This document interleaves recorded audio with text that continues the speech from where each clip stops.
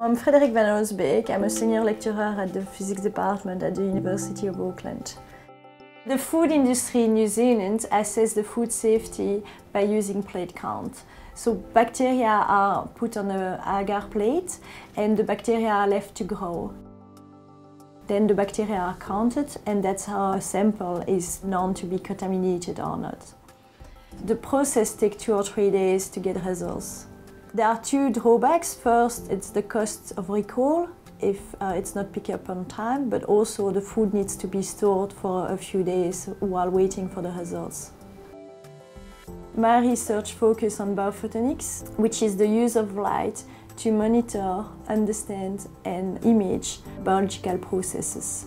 At the moment I have three PhD and an honor students, one postdocs and we are two academics working on the different aspects of the projects. Currently, we are working with a company called Veritide that is based in Christchurch to develop a device to assess food safety.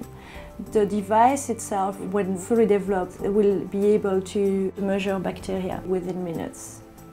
The bacteria are tagged with a fluorescent dye and then the fluorescent signal is measured carefully to infer the number of bacteria in the sample.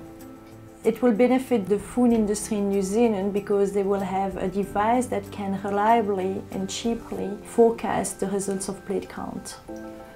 In the future, we hope to be able to identify specific bacterial type using, for example, the difference in the spectrum uh, of the fluorescence.